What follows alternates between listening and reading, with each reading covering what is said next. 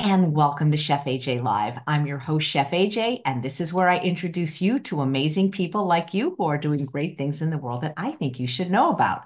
My guest today is a legend in the plant based world. I know you know him. His name is Dr. Neal Barnard, and he has a new book coming out any day now. Well, not any day, it's in two months, but that's any day now. Right around my birthday, too. What a great gift for me. Please welcome Dr. Neal Barnard. It's so good to see you. It has been far too long.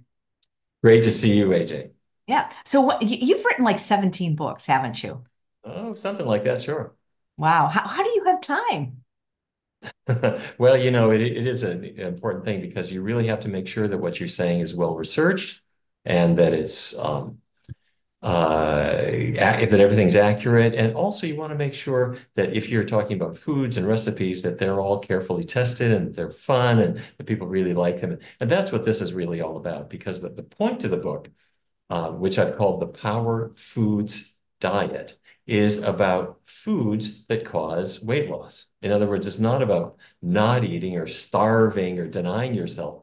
It's about certain foods that actually cause weight loss, and we're going to build them into our routine and watch the pounds melt away.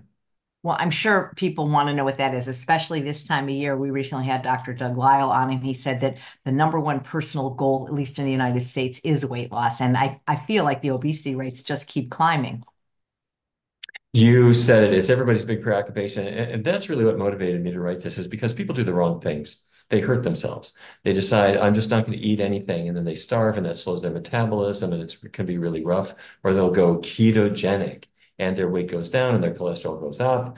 Um, or they'll do all kinds of kooky things. Or they'll, they'll go Mediterranean thinking, well, everyone says it's good, but then it doesn't work for them very well because Mediterranean diets just aren't so hot for weight loss and people tend to blame themselves. So we're going to try to get all that negative stuff off and bring some positive stuff in. And that's all about eating the foods that love you back. Absolutely. Well, I can't wait to you. I, I, do you have a cover at least to show us? I'd love to see what it looks like. Yeah, let me let me show you one. Um, how about if I give you a little um, two minute introduction to the book, and at the end of that, I'll show you what the book looks like. Fantastic. Is that good? Sounds okay. good. Can I share my screen? Oh, please do. Okay.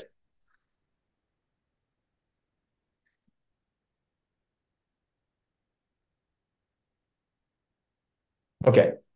This is a blueberry. I hope you can see my blueberry there, AJ. And Beautiful. there's a whole bunch of blueberries. And the reason that I'm showing these blueberries is that back in 2015, researchers from Harvard published this study. This will not be on the test, but here's what they were looking at. It was researchers at Harvard looking at over 100,000 people in the Nurses Health Study, Health Professionals Follow-Up Study, and they tracked them for a good long time, 24 years. But what they looked at was what they ate, particularly changes in fruit intake, changes in vegetable intake over time, and changes in body weight. And then they put the two and two together to see if people ate more of this, did they lose weight? If they ate more of that, did they gain weight? What was the story? Well, there were a whole bunch of foods that seemed to be associated with weight loss. And the number one weight loss food was berries. Wow. Yep. And that could be blueberries, could also be something like strawberries, and it could even be blueberries inside a muffin, um, depending on what else gets baked into that muffin. But here's the deal. Inside blueberries, that dark blue color comes from anthocyanins. And anthocyanins are one of nature's pigments, and they're in blueberries. There's a related anthocyanin that gives strawberries their kind of uh, dark red color. And in the autumn, the leaves are colored by other anthocyanins, but what they all have in common is that they're antioxidants. And researchers in the UK, two years after the Harvard study, said, let's look in more detail. And what they did, they published in the American Journal of Clinical Nutrition. They brought in twins, almost three thousand twins, AJ. Yeah, don't try this at home. And it was called the Twins UK Registry. And what they did is everyone got a DEXA scan. That allows you to look at abdominal fat, thigh fat, body composition overall. And through the DEXA scan, what they discovered is of the twins, the twin pairs, the one who had the higher anthocyanin intake, that's blueberries, strawberries, raspberries. The one who had the higher anthocyanin intake had about 9% less abdominal fat. Now, keep in mind, these are genetically identical people. but they're not identical if they're eating differently and more anthocyanins cause weight loss. So strawberries, blueberries, raspberries, there's even anthocyanins that give pears that are little blush grapes. Okay, fair enough. But it's not just berries. Cinnamon.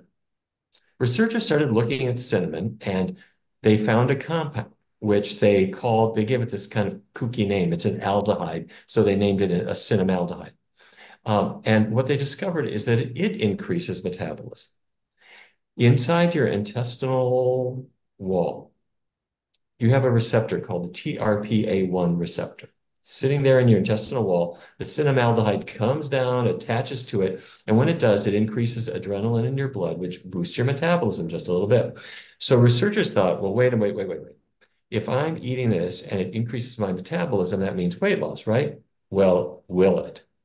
Researchers published a study and they did a randomized trial, 2017, 116 people in it. They gave them three grams of cinnamon, which is about a teaspoon per day. And over a 16 week period, they saw weight loss, about not quite eight pounds in the intervention group. Now, that's impressive. And I have to say, when I first saw this, I was skeptical. I thought, it's too easy. But a whole, many, many studies have been done finding much the same kind of result. And then hot peppers, uh, you might have had the experience, AJ, of you're sitting at a restaurant and your jalapeno burrito comes and you have just a few extra jalapenos and you start to feel hot. Well, it's not just hot on your tongue. Your body temperature actually does increase a little bit. And that's due to capsaicinoids, which are the hot in hot peppers. They also reduce the appetite, but they increase your calorie burning speed. And that's true whether they're pickled or or raw or whatever the heck it may be. So I got all excited about this. And AJ, here's my book, The Power Foods Diet. The goal wow. was to look not just at blueberries and not just at cinnamon and not just at hot peppers, but there are dozens of foods that if you build them into your routine, each one has a slight weight loss effect. And so I worked with Dustin Harder, whom you know, and Lindsay Nixon, whom you know, and the great, just terrific recipe developers. And Dustin and Lindsay came up with more than 120 recipes. And the whole idea is if you eat more of these foods, you're going to lose weight. And they are out of this world. So Dustin came up with a blueberry syrup. And Lindsay came up with some French toast. And you put the two together. And it's just delicious. And it's super, super, super easy. I don't want people to think you got to be a junior chef. Take some blueberries, they can be frozen blueberries fresh, a little vanilla extract, little cinnamon, throw, throw that in there too, a little maple syrup if you want, pour it over the top of your French toast, which is easy to make too. And when your friends are coming over, you know, this is not diet food. Let's put some uh, vanilla extract in there, some mints. Yes, they're going to lose weight if they eat this way, but you want people to feel like this is delicious food. So let the weight come off, let the health come back, but do it in a really delicious way. And Dusty came up with a triple berry sorbet, which is blueberries, strawberries, raspberries, a few bananas in there for kind of substance, just a little cranberry juice or cherry juice, a little maple syrup. Or th these are the funnest things, especially if you have kids coming over. They're blueberry pops. Super easy, some blueberries, some bananas, some pears, and a little almond milk, and a spritz of lemon juice. So fun. So um, also in the Power Foods diet, I'm, I'm going to walk people through not just recipes that are uh, really easy, don't require any preparation. I have some recipes that are elegant when you're entertaining and a lot that are kind of in between where if you like to, to make something nice, you can do that. So everywhere from convenient to more complex. But I also want people to know how to use these foods. Some people haven't really thought about it. So I'm going to say, when you go to the store, don't get the shriveled up, dried up blueberries. Get the really plump ones with a little gray dusting. And here, you don't have to get it organic for everything, but for blueberries, I want you to get it organic. And there's a reason. If you are buying a banana and the banana was sprayed with pesticides, well, you're not going to eat the, the peel. Same with an orange, you're not going to eat that. But with a blueberry, you are not peeling your blueberries. So um, whatever is sprayed on the outside, you're going to get. So buy the organic ones. Do not put them on the countertop. They're going to shrivel up quickly. Store them in the fridge, but do not wash them. Don't wash your blueberries until you're re just ready to eat them. Because if you wash them the day you buy them and they stay in there for three days, they're going to get a little bit of moldiness on them from the water. Don't do that. Uh, frozen, fine. Very convenient, very healthy. And when you're turning them into muffins, please Don't add butter. Don't add greasy stuff. With cinnamon, the one you want to get is Ceylon cinnamon. Do not get Chinese cinnamon, Indonesian cinnamon, Saigon cinnamon. You, you, you can, but they're not true cinnamon. They're, it's, it's a, a cousin called cassia, and there's some possibility of toxicity when you're having higher amounts. Once again, organic makes sense with cinnamon in particular. Store it airtight, keep it in a dry, cool place, and you're going to be fine. So that's the power of foods. So let me unshare, and we can talk more about it. That is, oops, my I turned my camera. oh, I love your picture. That I, I can't wait for the book to come out. The recipes sound fantastic, but you're not suggesting that if somebody just eats, you know, blueberries with French toast, if they're following the standard American diet, eating lots of animal products and oils, that that in itself will help them lose weight. No, that is what I was saying. I'm saying that that in itself will help them. Seriously? But you want them to Yeah. change a little bit further, don't you, than from eating the standard American diet and You- adding blueberries? AJ, you are reading my mind. Exactly. So each one of these helps chip away. The effect of blueberries, the effect of cinnamon, the effect of, of hot peppers, and there are many, many others. Each one of them is a piece of it, but you can completely undo that benefit. Let's say you take your French toast and you have a big hunk of pork sausage next to it. That's not that's going to really undo the benefit. So it's also important to know the things that are working against you. But there are really three ways that these foods work. And the first one is that they're appetite tamers. Uh, there are, we did a study where we looked at people who were just following a totally plant-based diet. So you're eating vegetables, you're eating fruits, you're eating grains, you're eating beans. What do they have in common? They've all got a lot of fiber. Fiber has almost no calories, but it's very filling. And so over time, what you see is that people's appetites get tackled by the high fiber foods. If instead you were eating Velveeta or organic salmon that you got at Whole Foods, well, however they may market it, it's got zero fiber. So by the time you get filled up with it, you know, you've gotten a lot, quite a lot of calories. So the first thing is their appetite tamers. The second is a discovery that some re researchers at Tufts did, did that was really quite amazing. They brought in individuals and they found that if you ate a lot of fiber, high fiber foods, it actually, the fiber actually traps calories in your digestive tract and carries those calories out with your wastes. What I'm saying is you're actually flushing calories down the toilet. What they did is they brought in, in volunteers. Half of them went on the white bread diet. They got um, white bread, white rice, things where the fiber had been removed. And then the other half of the people got the high fiber diet, brown rice, whole grain bread, things that had the fiber intact.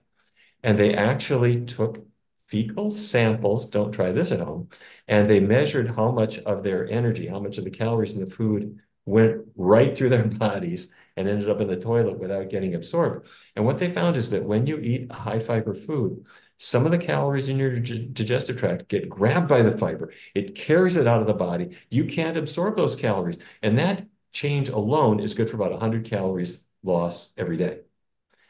And the third thing, after I've tamed your appetite, after I've trapped your excess calories, the third thing is that I want to boost your metabolism. And your metabolism increases after a meal, not if you eat butter, not if you eat grease. Those do not boost your metabolism. But if you have healthy complex carbohydrates and plant-based proteins, you could get a boost in your metabolism It's good for about 200 calories a day. So back to your question, AJ, is, is this going to cause weight loss? Each part alone does its bit. 100 cal 100 calories, 150 calories of calorie trapping, 200 calories at burning after the meal. You could cut your appetite by easily two or 300 calories a day. You feel the same. You feel great. You feel full after each meal, but you are losing weight because you're, tra you're trapping calories, you're taming your appetite, and you're burning calories faster. And that takes care of it. Well, sign me up. Well, actually, I don't need to lose weight, but but you know what I mean. I mean, it, it sounds amazing. What about keeping fats and oils on the lower side? Because I've heard you had conversations about that before, at least when I've I've interviewed you before, at least for people that want weight loss. Yeah, uh, it's a, it's an important thing. Um, all fats, all oils have nine calories in every single gram. Now, not all oils are created equal. If you have coconut oil, It's really high in saturated fat. It is going to make your arteries narrow. It'll raise your cholesterol levels. And I don't care how well they market coconut fat or palm oil. They'll say, oh, they're natural. You know, I got it at the health food store, da, da, da, da, da. These things have a lot of saturated fat in it. It's going to raise your cholesterol. However, let's say I get extra virgin olive oil. It's much lower in saturated fat. Instead of being, what, 80 some percent saturated fat like coconut fat, it's down to 14. However, even though it's lower in saturated fat, extra virgin olive oil is not one bit lower in calories. It'll still fatten you up just like coconut oil. So uh, we're going to keep all oils really, really low. And so when Dustin and Lindsay made their recipes, they're not adding oils to these things. You can make foods absolutely delicious without any adding any of that stuff at all. It's a lighter flavor and one that people really appreciate. That is great. I, I think it would be so fun to be in one of your studies. How does, if somebody lives in Washington, D.C., can they participate? Well, we're doing studies all the time. We're, we're launching a new study now with type for people with type 2 diabetes. And they come in and we're measuring uh, a number of things in their bodies and uh, the usual things. We're looking at their dietary intake and their weight and their cholesterol. But as you may remember from our previous conversations, we found that what causes diabetes, type 2 diabetes, it starts as insulin resistance, which comes from fat buildup inside our cells. And we can actually measure that with something called magnetic resonance scanning. And so you look inside their muscles and look inside their liver cells, and you see that they're filled with fat particles. Then we change their diets. If it's a plant-based diet, a vegan diet, there isn't any animal fat in it at all. And if I keep oils low, then the fat in their cells starts to dissipate. And that's what we're doing. So the point is that this kind of diet doesn't just help you lose weight, but it helps tackle diabetes and so many other health conditions. Right. So, you know, I think it gets confusing because, as you mentioned earlier, people do these keto diets, which are very high in fat, and they lose weight. And so people wonder, well, maybe that's the way to go because they seem to result in fast, but not permanent weight loss. Uh, some people lose weight with them, some people don't. Um, there's Oh, there's really? a Okay. well, there's a long there's a long line of disappointed Atkins dieters out there. Um, people who who tried it for a little bit, it didn't work for them, and they, you know, you, you go into any thrift shop, you'll see a whole lot of those books that have been just um, turned in, and people have given up on it. However, th I don't mean to say that that some people don't lose weight on it. They will, because the the carbohydrate blaming approach says that carbs made you fat, so don't eat an apple and don't eat a banana and don't eat an orange and don't eat a pear and don't eat any any bread and don't eat any rice and don't eat noodles. And carbohydrates are 50 or 60% of what you eat. So if you take all that away, you will lose weight. The problem is that what's left for your average meat eater, once you've taken away all the starchy foods, what's left is meat and gravy and not very healthy foods. Their their overall calorie intake is less but what's left is not very healthy. So their cholesterol levels, in many cases, will go up. Yeah, absolutely. And this way of eating is just to me so much more satisfying. I, I mean, it's been almost 50 years for me. I can't imagine eating just a bunch of meat and fat. Yeah, um, but it, you know, for many people, it's a new thing. And so we have to help people to figure out how to begin it in in a good way. And what we'll often do is um, for a person who's totally new to it, they may be 50 or 60 years old, and they thought, you know, I really want to re reach my health goals, but I'm not sure about what how a vegan diet would work. How do I start? What we'll typically do is encourage them to take a week, and during that week, take a piece of paper and just write down breakfasts and lunches and dinners, things that have no animal products in them, but that you actually would eat. So let's say I'm having cornflakes in the morning now with milk. Hmm, how do I veganize that? Well, I put on almond milk or soy milk or something like that. Okay, fair enough. Uh, or I could have a bowl of oatmeal instead, or I could have my waffle recipe or whatever it might be. Um, or if I'm having Jimmy Dean pork sausage, that's an animal product, but the store has Morningstar veggie sausage. Very good, low in fat. You know, it may be a little processed, but it doesn't have any cholesterol and no no oink in it, no moo in it. And we'll give that a try. So after about a week, people have a list of vegan things that they really enjoy. And then what we often encourage them to do is take three weeks now and eat those foods. Let's go completely vegan. But if it's only three weeks, I mean, you can do anything for three weeks. And so people really commit to it. Plus, they've already got their list of foods they like. And at the end of three weeks, AJ, people's lives have transformed. They've already started to lose weight, even though it's just been 21 days. Their blood sugar has come down, their energy is better. And the second thing that happens is their tastes have changed because they haven't been eating greasy foods. They really come to prefer the, the healthy tastes that they're having now. Well, it's already a bestseller and on Amazon, and I've been putting the link for pre-order in the chat and the show notes. So I'm sure it's going to do very well. And we have a question from a live viewer about the blueberries. Do they have to be the wild blueberries and do they have to be organic to work? Okay, well, thank you. Um, they work whether they're organic or not. Um, what we believe is is doing the, the the good here is those anthocyanins, which there are there in the non-organic varieties too. Plus the fact that they there's not much fat. You can't really squeeze a lot of fat out of a blueberry, um, and it's high in fiber. However, the reason I encourage you to get organic, yeah, it may cost a buck more or something like that at the store, but the reason I favor organic when it comes to berries is that, as I was mentioning a little bit earlier, let's say you go to the store and you get an orange, and the orange is not organic, meaning they sprayed the orange grove with, with pesticides. When you get the orange, what do you do? You peel the outer surface off of it and you throw it away. Now, if you get a blueberry, do you peel that? No, you don't. You're going to eat the whole thing. So if there are pesticides on the surface, you're not going to get them from your orange because you peeled it, but you will get them from the blueberry. So I would encourage you to get organic. If you can't get organic and blueberry, or you're unsure because you're at a restaurant, um, it's better to have the blueberries than not have them. But the but the organic ones are always the best.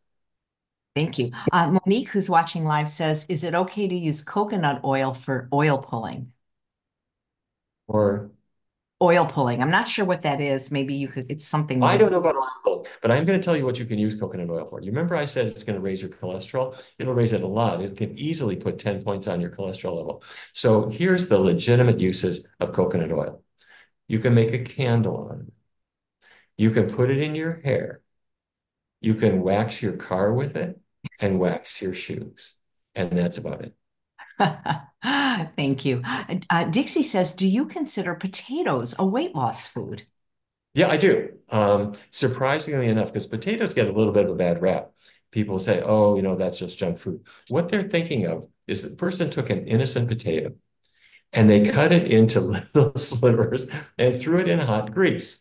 And out it came as potato chips, and they salted it up. So it's got a lot of salt, it's got a lot of grease. That innocent potato is now really a bystander for processing. But the potato itself is a healthy root vegetable. Let me cheerlead for the potatoes in a couple ways. Number one, it's got a lot of fiber in it.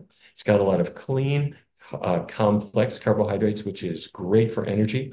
And write this down.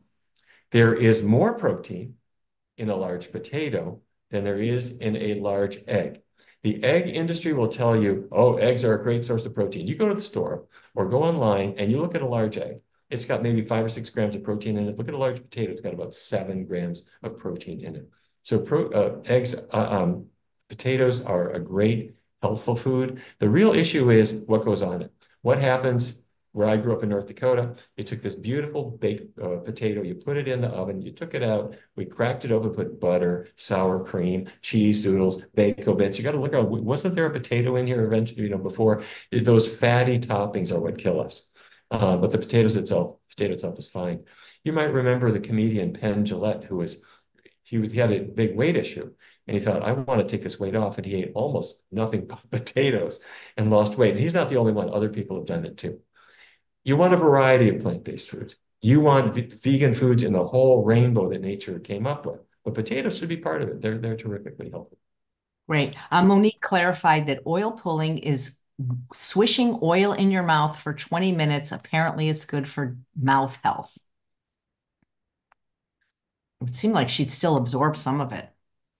Uh, new one on me. Um, but let, if you might find that the oils leave a little bit of a bad taste in your mouth when I tell you this. Um, let's say I take an olive. An olive has traces of oil in it. No big deal. Um, it's not a huge amount. How many olives can you eat? Well, think about it. Did you ever eat one olive at a sitting or two or three? Yeah, you might have. Did you ever eat 12 or 13? Now you're kind of pushing it.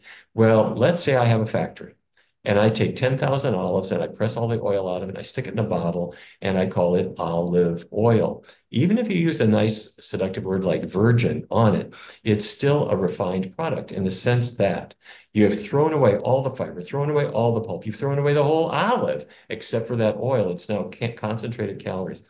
And that's why uh, when our research team did a study of the Mediterranean diet, which favors some some healthy foods. I mean, there's vegetables in it and fruits in it and so forth, but there's some chicken in there, some fish, and often a lot of olive oil. In a 16-week trial, we found that people who wanted to lose weight but went Mediterranean really didn't lose weight effectively at all. And it's because of the animal fat that's in the fish and the chicken, little bits of cheese they're eating, and the uh, the olive oil as well. So I would really view oils, including olive oil, including coconut oil, including all of them, as refined foods that nature didn't bring you. A factory brought that to you. Yes, thank you. Uh, one of the viewers on Instagram is asking how they can be a subject in one of your studies. They are a type 2 diabetic. Oh, well, thank you. Um, if you go to our website, pcrm.org, and you'll see research studies listed there. We are just now uh, actually recruiting for a diabetes study, as I mentioned earlier. This one is in Washington, D.C. We sometimes do have studies for people who are in other locations. Um, this one's in Washington, D.C., but if, if you're there and you've got type 2 diabetes, we'd love to talk to you. That is great. You know, it, people are still, you know, you've written so many books and so so many other books from the plant-based doctors and documentaries, but people still are afraid of carbs. I, it's it's it's so strange to me that I'm, I'm, sure you're familiar with the work of Dr. Walter Kempner. I had two of the doctors that worked with him on the show, and I, it, people that just eat white rice lose weight. I, I don't get why people still are so afraid to eat complex carbohydrates. Um, yeah, there, there are a lot of mysteries. I mean, many people imagine if they they pray to God that their their high school football team is going to win the game. People have all kinds of ideas about things that that uh, may not actually work out so well in the long run. Um, and this idea that carbohydrates are something to be avoided or fats are to be revered, those are are things that are a bit mythological. Our team has put these to the test, and what we find is that when we increase carbohydrates, um, by that I mean I, I'm what I'm talking about is healthy fruits, healthy vegetables, including starchy vegetables like carrots and potatoes, um, or beans, noodles, they lose weight very, very easy. And our mathematician friends will show why. A gram of carbohydrate, does it have the same calories as oil? No. A gram of oil, a gram of fat, a gram of butter has nine calories. A gram of carbohydrate has all of four. And by the way, that's true not just for starches, that's even true for pure sugar. If you took packed sugar, I'm not suggesting you should do that because it's highly refined as well, but it only has four calories in it as well. So carbohydrates are among your best friends. Thank you. Marcy, who's watching live, wants to know how long does it take to notice weight loss on a plant-based diet? Well, it starts on the first day. Um, now, I don't encourage people to really try necessarily to lose weight super fast. If you're, let's say it took you a long time to, to gain weight and you were gaining maybe a pound or two per year. Well, let's say you lose a pound a week. Um, after a year, that's about 50 some pounds. That's pretty good. So typically the weight loss will begin on day one, but we want it to, to act. For, I would encourage people to go for about maybe even a half a pound or a pound per week. Just let it gently come off.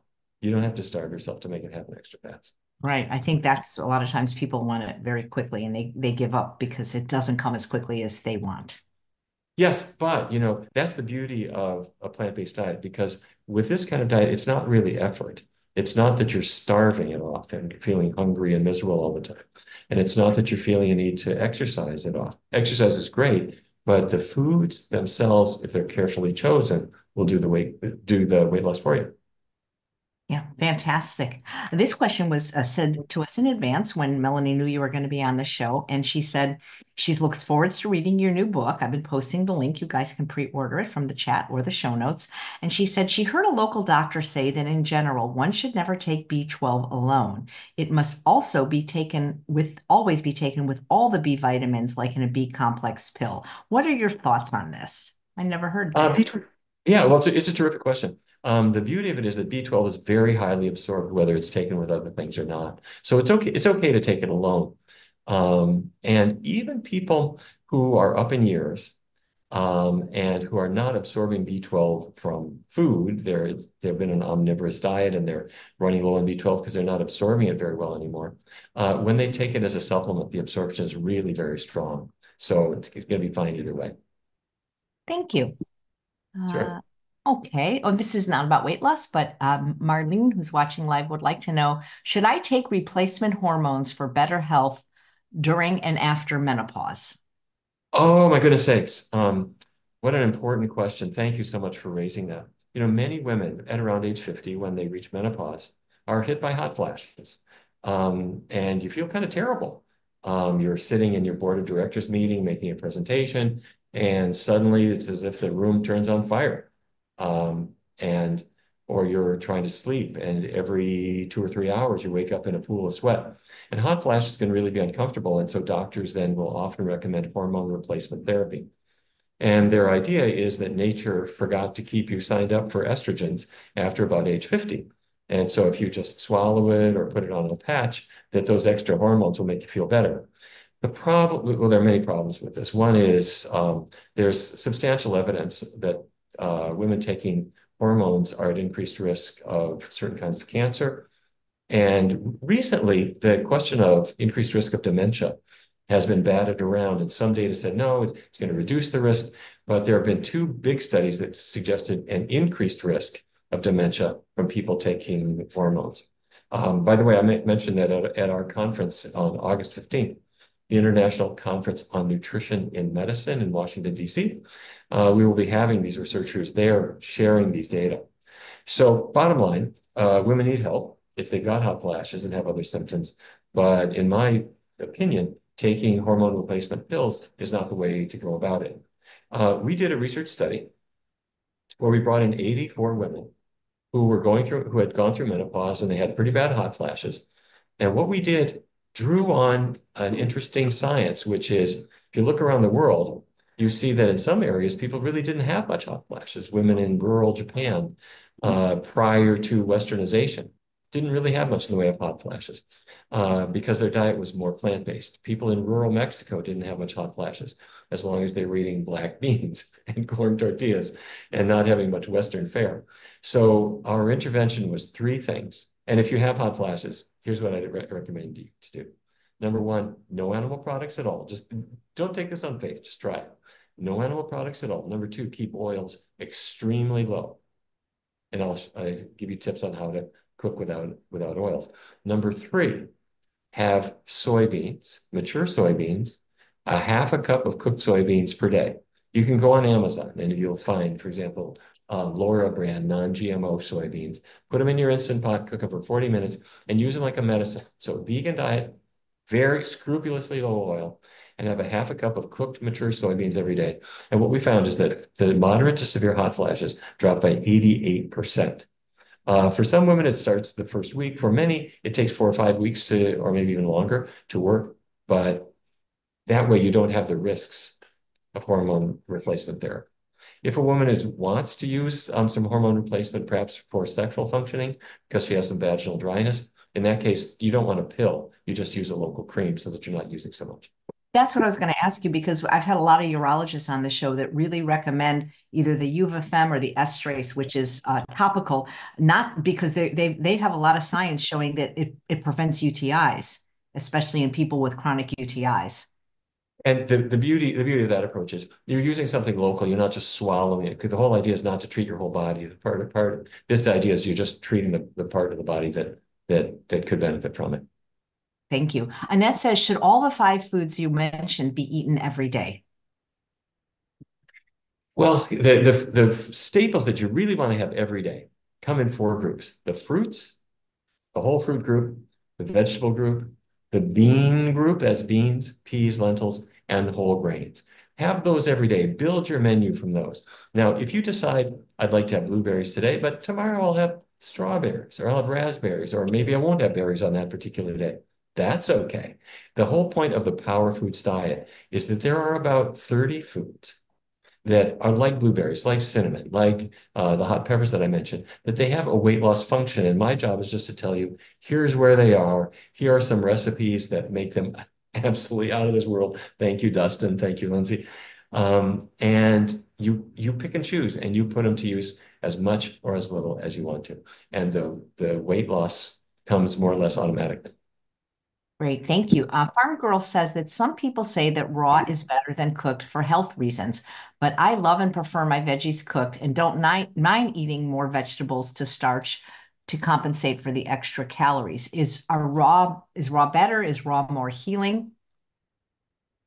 Yeah, what a great question. Um, I have to say, I think there is something just to be said that raw would, in theory, be better. I mean, we did not evolve with sterno, so um, we presumably were eating raw vegetables and raw fruits for much of our time on Earth. The problem is this: we don't know which ones those were. Um, for example, if a person has a salad and they have cut up tomatoes on their salad, a tomato is a North American food. Well, people are not originally from North America. People evolved in Eastern Africa. And we got restless and we moved up and uh, went up into Europe, into Asia, and over the Bering Strait, and all different places. And Europeans came and invaded, and um, we moved all around. Um, so the foods I'm going to suggest that the foods that were there in Eastern Africa when our species was more in its early years, those might be the raw foods our bodies are designed for, but we're not entirely sure which ones they are. The health value of cooked vegetables is very high, and in some cases even higher. Uh, let's say if I have uh, tomatoes that are broken up and cooked a little bit, the lycopene that makes them red is liberated. That's an antioxidant, and there's actually more of it if the if the the um, if the tomatoes are cooked. So cooked is fine. Uh, I'm I, I, do think it's good to include a, fair amount of raw veg raw vegetables, but some of them don't digest well. Broccoli, cauliflower, Brussels sprouts. If you try to eat them raw, your tummy is going to give you a little bit of an issue. Yep. Someone's asking, is Beano safe for gas due to beans and legumes? I Googled it and it says it's not vegan, if that matters to someone. Yeah, well, um, there might be a more a simple approach. For a lot of people, when they greatly increase their bean consumption, their stomach will rebel a little bit, and that's because your sudden beans are the start are, are the fiber champions. There's fiber in whole grain bread. There's fiber in vegetables and fruits, but beans have more of it than anything. And so, if suddenly your gut microbiome gets this huge importation of fiber, it ferments it and it makes gasiness. So the trick, the trick to it is number one, start small. A little bit of beans goes a long ways. Number two, make sure they are very well cooked. If you are cooking beans, don't have them be al dente. If they crunch, they're not digestible. And sometimes when you get a can of beans and you open it up, some of the manufacturers cook them well and they're nice and soft. For others, they're, it's almost like they're giving you a can of peanuts. You don't want that. Um, and over time, what you'll discover, if you start small and have them well cooked, as time goes on, your, your gut microbiome will adjust. And you'll find that you might be a little bit better off with some varieties than others, but you'll be fine. Thank you. One of the viewers is asking, why do beans get a bad rap from a doctor who shall remain nameless? Oh yeah. Uh, well, there there there are doc there there is a doctor who talks about lectins in beans and goes on and on and on about the danger of it. Um, there are lectins um, in a lot of foods. You you cook them and they're gone. Um, so I have no idea. Um, when you look in epidemiologic studies, people who eat more beans are are healthy and, are particularly healthy in a, a wide variety of ways. High fiber, zero cholesterol, no animal fat. Beans are health food. Thank you. You need uh, a Mercy, good lobby. Mercy wants to know, are mushrooms good for us? You know, the one thing that mushrooms have gotten um, some notoriety for, or some fame for, I should perhaps say, is, is cancer reduction. Uh, there have been a number of studies suggesting that women consuming more mushrooms um, have a reduction in breast cancer risk. Now, here is something where I think they should be cooked. Uh, if you gather a whole bunch of raw mushrooms, they have traces of formaldehyde in them, which disappear upon cooking. So if you want to put them in your vegan stroganoff, you go right ahead. Thank you. Monique says she really likes the recipes in your books and she makes your bean-based waffle a lot. Oh, how nice. Thank you. Well, you are going to absolutely love the Power Foods diet.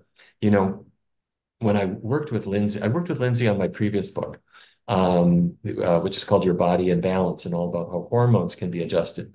And I worked with her again uh, in the Power Foods diet, but I also worked with Dustin Harder, who works with the Physicians Committee as our, our culinary genius. And the two of them together came up with the most wonderful recipes, everything from salads and soups to main dishes and sides and desserts. And as I mentioned earlier, for the person who wants to cook, we have easy recipes. For a person who wants to kind of put on airs for their guests who are coming over, we've got some elegant recipes. But for the maybe 50% of people who say, for me, it's really got to be convenience. We have recipes and tips for people who really want to work, get in and out of the kitchen, or do it at a fast food place, do it at the convenience store. So you may not be cooking at all. So we've got tips for everybody. And I want to say a big thank you to Dustin and to Lindsay for working with me on the Power Foods diet. It's been been really, really fun. And the response to it so far has been really great. Oh, fantastic. I can't wait to get my hands on it. But I see it's also available in Audible, and I tend to like to do that. Yep. Yep. And, Yeah. and I hope people enjoy that. And people need to know when you buy an Audible book, you still get the recipes. So just so you know. So that's, you know, I, we recently had Dr. Doug Lisle on and there was a question and I remember it now that we said when when Dr. Barnard comes on, we're going to ask him because somebody was asking about because you you you talked about hormones so much in your previous book that is the reason that uh, young girls are reaching puberty so much younger have anything to do with milk. It could well. Um, and not just milk, but particular milk fractions like cheese. Um, this goes back a long ways. If you go back to, say, the mid 1800s or the early 1800s, girls were not reaching puberty at 11. Um, in some cases, it was 17 or 18. Um, and it's gradually descended through the decades. And today, it's not at all unusual for a girl of 11 or 12 or 13 uh, to be reaching puberty. And yet, if you think about it, wait a minute. Why would you be reproductively fertile at 11? Because you're not ready to be a mother at 11. You can't raise a child and take on the responsibilities of adulthood. Why should you be sexually mature? And I don't think that that's what nature had in mind at all. Um, I think that this is a change. And if you look at the diet, back in 1909, the US government tracked, started tracking what Americans eat. And in that year, the average American ate some cheese, about 3.9 pounds per year. In other words, they might be eating it in Switzerland, but they're not eating it in Nebraska. Not very much. Cheese was not our thing. 3.9 pounds per year.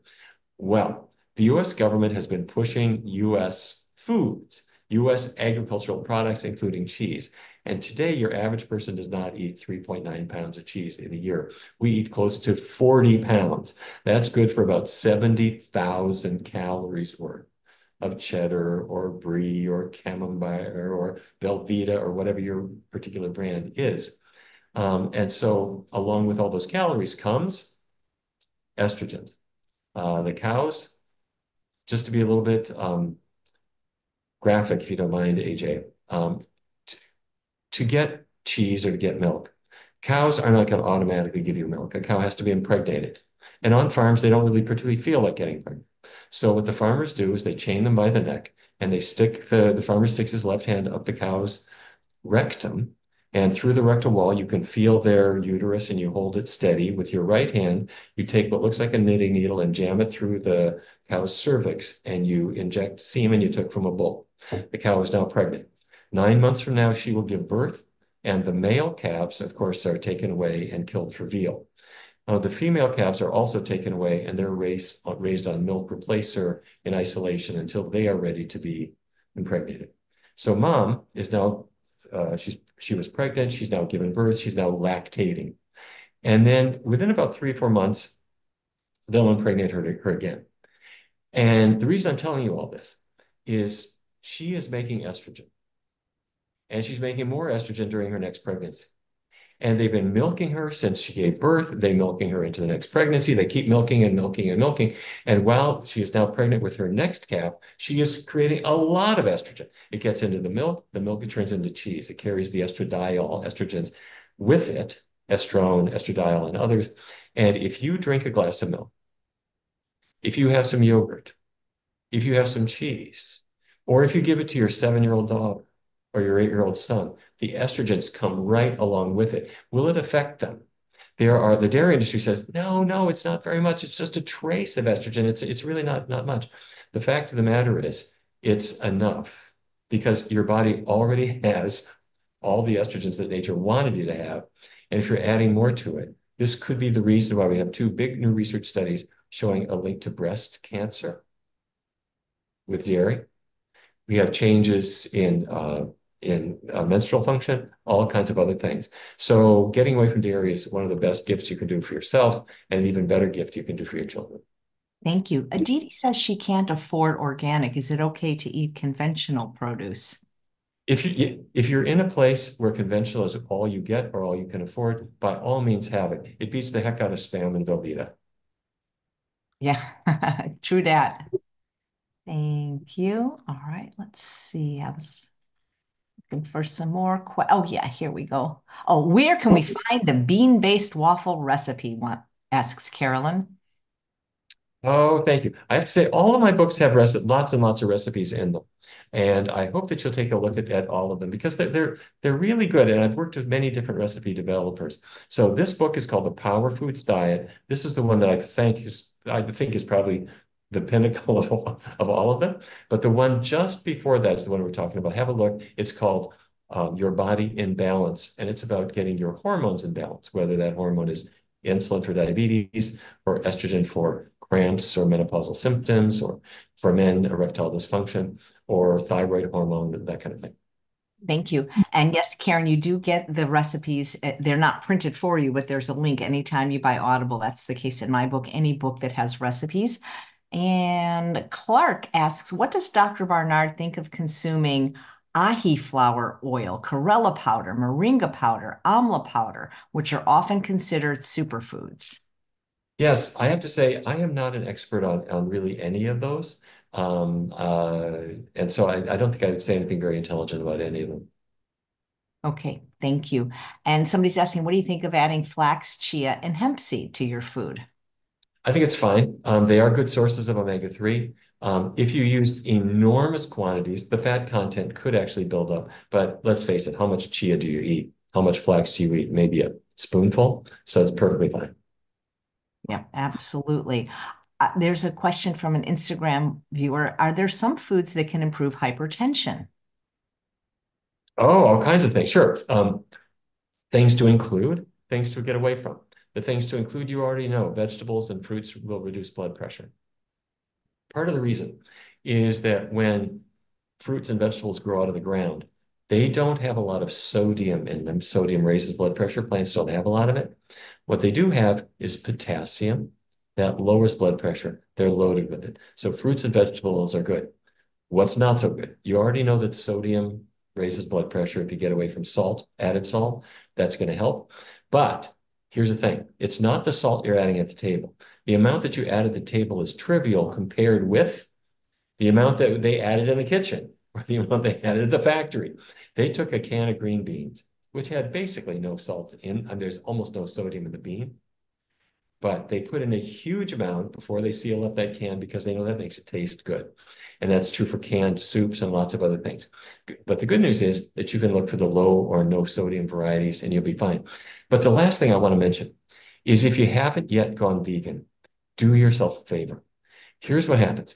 Your blood, your blood pressure is high. Um, when a person gets away from animal fat. There's not a lot of that waxy fat getting into your body. Your bloodstream, your blood flows more readily.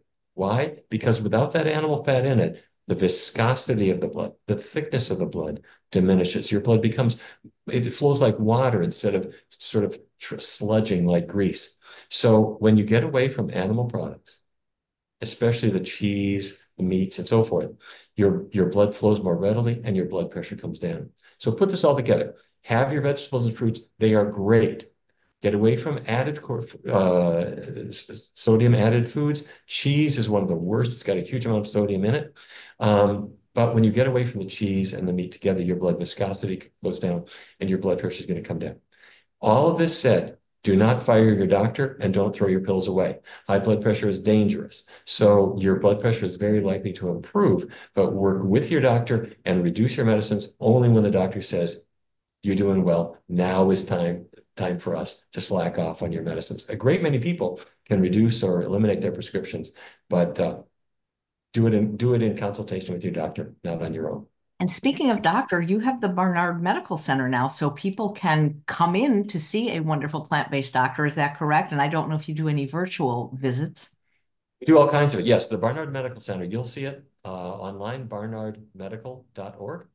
And we've got terrific physicians and dietitians and, and others here in the clinic. And uh, we see people live and in person um, at our, our clinic on Wisconsin Avenue in Washington, D.C. But we do a lot of work with telemedicine. So let's say you're in San Francisco, or let's say you're in L.A., or you're in New York, or you're in Florida, or wherever you are. Go on barnardmedical.org and you can make an appointment, and we take most insurances. It's a nonprofit clinic, but we've got the greatest doctors and would love to help people out. That's great. Well, Dr. Jim Loomis now has a regular slot on my lineup, so we're very excited to, to welcome him. So a lot of the people are saying they appreciate you telling the truth about dairy, as, as sad as it is. So thank you for that. And you know, while all your books are wonderful, I might say that my personal favorite is uh, Breaking the Food Seduction, because you're one of the few doctors, at least in the plant-based space, that really acknowledges food addiction. And I'm curious, what role do you think that plays in people's difficulty losing weight, even with the right foods sometimes? You know, some people might say, well, uh, you will find people occasionally who are really addicted um, to to foods, almost like a drug. And you know what? I don't think that's true. I think what is true is that everybody can be addicted to foods like a drug, not just a few people. Everybody can. Why is that? Because there are foods that are being marketed very much in the same way as drugs people will take something like chocolate or other things. And there are people working long into the night to figure out exactly the combination of sugar and cocoa butter that you cannot resist. Um, these things, salty snacks, all kinds of foods that people get hooked on, what they have in common is that they were not things that were there during our early evolution. Think about it. What did people get hooked on? Um, alcohol, cocaine, heroin, all, these things did not exist early on. People didn't have a glass of wine until they figured out how to ferment grapes.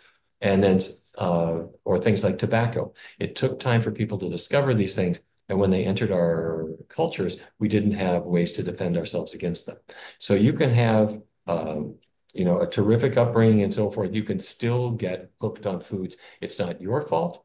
It's not your parents' fault. It's not your upbringing. It's the foods themselves that are addictive as drugs. And unfortunately, we live in a culture now that brings them to you. Um, when I was a kid, we didn't have convenience stores on every corner. But nowadays, you'll find junk food at the gas station. All you want to do is fill your tank, but they want to sell you M&Ms, all kinds of other stuff. So that's that's the world that we live in nowadays. Um, can people eat unhealthy foods every now and then and be okay? Sure, they can. But if it's get if it's getting a life of its own, and your thighs are expanding before your very eyes, and you're feeling crummy, and your life is being ruined, and you're getting health uh, health problems, then that's the time to take stock and decide, do I want to break free? And my suggestion, this is going to sound un-American. I don't think moderation is such a great thing for everything. You know, there are some people who say, well, okay, let me just cut down. What you're doing is you're bargaining with it. Um, let's say, let's say your seven-year-old daughter likes to play the violin.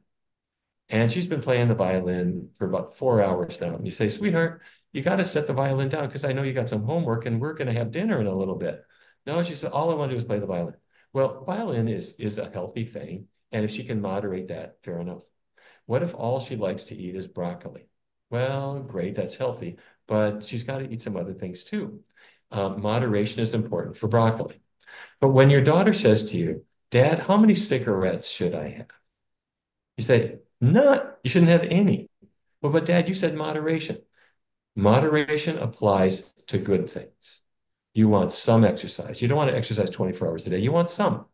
You want some broccoli, some fruit, some beans, some grains, moderate amounts of all these things. But if something is bad for you, you want it out of your life.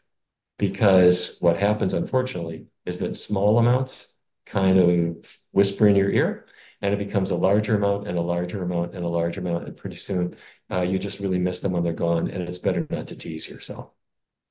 Thank you. Uh, one of the Instagram viewers is asking if leafy greens can slow the progression of cataracts. You know, I don't think the answer to that is really known, but but leafy greens do, are rich in antioxidants, and cataracts are uh, a, a the, the formation of free radicals inside the brain, uh, inside the eye, in response to uh, ultraviolet light. Um, and there have been a couple of things that have contributed. We believe a high antioxidant diet is helpful.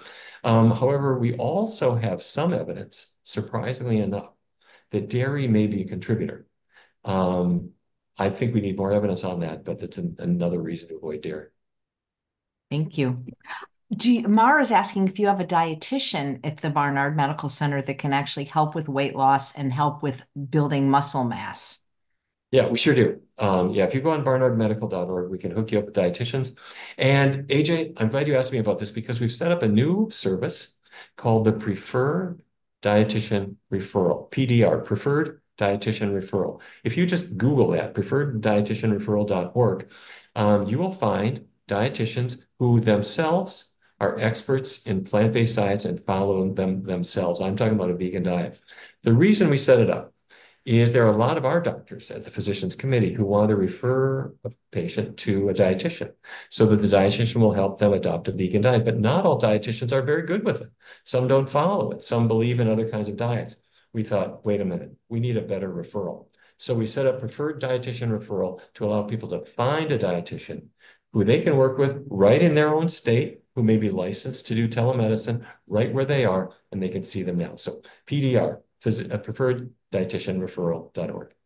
Thank you. I'll I will add everything you've been talking about, the links to the show notes as soon as the show is over. And Stephanie, who's watching live, wants to know what do you think about wheat germ and how would you add it to the diet? Um, you can. You don't necessarily have to because if you're having whole wheat, you're getting the wheat germ as part as part of it. Some people isolate that and they add it often more as a flavoring than as anything else. Nice. Last time we talked, you and just like me, you enjoyed savory breakfasts rather than sweet ones. Is that still the case? Yeah, I have a sort of a breakfast routine that I fell into a number of years ago, and it's got three parts. And the first part is some sort of plant protein.